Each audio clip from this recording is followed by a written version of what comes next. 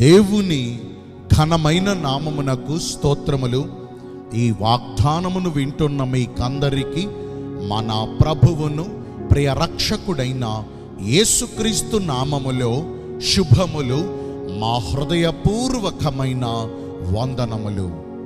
ఈరోజు మీ కొరకైన దేవుని వాగ్దానము. రోమా పత్రిక ఎనిమిదవ అధ్యాయము ఇరవై ఎనిమిదవ వచనము.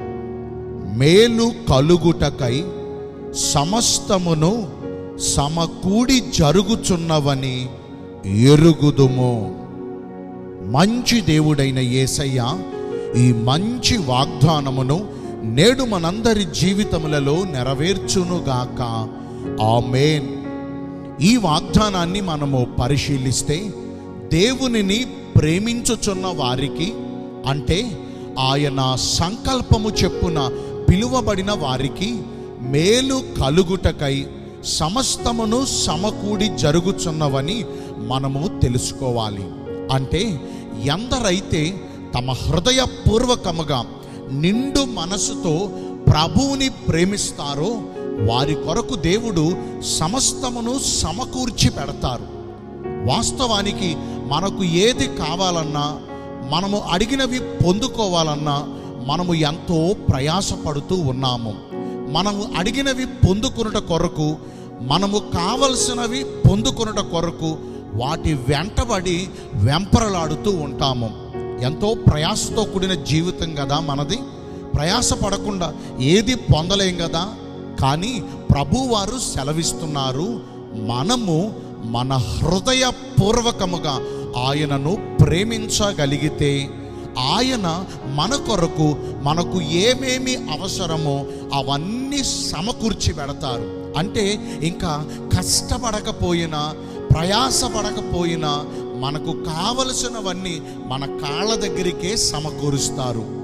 విచారకరమైన విషయం ఏంటంటే మనలో చాలామందికి ఆయన ఇచ్చే మేలులు పొందుకుంటూ ఆయన ఇచ్చే మంచి మంచి ఈవులను అనుభవిస్తూ ఉండాలని కోరుకుంటారు కానీ ఇవన్నీ ఇచ్చే ప్రభుని మాత్రం ప్రేమించరు. ఎంతో బాధాకరం కదండి. మనము ఆయనను ప్రేమించాలి. అప్పుడే మేలుకరమైన జీవితమును మనము పొందుకోగలము. మరి ఇంతకీ ప్రభువుని ప్రేమించడం అంటే ఏంటి?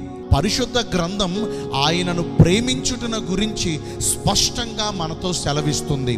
మొదటిగా ఆయనను ప్రేమించుట అనగా ఆయన ఆజ్ఞలను మన హృదయపూర్వకముగా కైకొంటమే కదా ఎనభై ఒకటవ కీర్తన పదమూడవ చరణములో నా ప్రజలు నా మాట వినిన ఎడల ఇష్రాయేలు నా మార్గములను అనుసరించి నడిచిన ఎడల వారికి ఎంతో మేలు అనే మాట రాయబడుతుంది.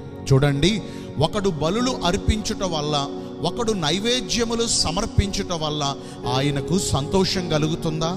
కాదు కదండి.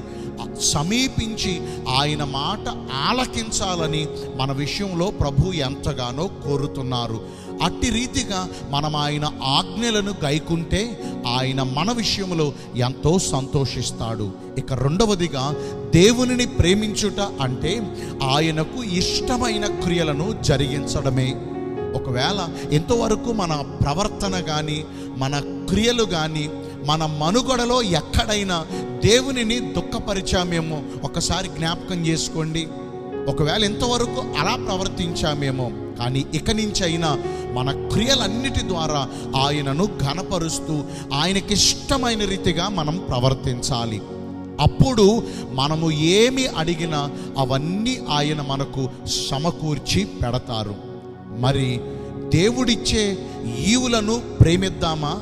లేకపోతే ఇక నుంచి అయినా మన నిండు మనసుతో మన హృదయపూర్వకముగా మన కొరకే ప్రాణం పెట్టిన మన ప్రభు అయిన యేసయ్యను ప్రేమిద్దామా? మీ అందరి కొరకు ఒక చిన్న ప్రార్థన చేస్తాను. పరిశుద్ధుడును ప్రేమ కలిగిన మా ప్రియ పరలోకపు తండ్రివైన దేవ మీ కృప కలిగిన బంగారు గణ నామమును బట్టి నిండు మనసుతో కొట్ల కొలదిగా మీకు మా కృతజ్ఞత స్థుతులు స్తోత్రములు వందనాలు చెల్లిస్తున్నాము. మాకు మేలుకరమైన జీవితమును అనుగ్రహిస్తానని ఈరోజు వాగ్దానము ద్వారా సెలవిచ్చారు. మీ చిత్తానుసారంగా ప్రవర్తించి ఈ వాగ్దాన ఫలమును పొందుకునే కృపను నేడు మాకందరికీ దయచేయండి. ఈ రోజున ఎందరైతే పుట్టిన రోజులను వివాహ దినములను ఇతరమైన శుభకార్యములను జరిగించుకుంటున్నారో. వారందరికీ మెండైన దీవెనలు కుమ్మరించమని మీ రాకడ కొరకు మమ్మను సిద్ధపరచమని యేసుక్రీస్తు ప్రశస్త నామమున ప్రార్థించి వేడుకొనుచున్నాను. మా ప్రియ పరలోకపు తండ్రి ఆమేన్. దేవుడు మిమ్మునందరినీ ఆశీర్వదించునుగాక.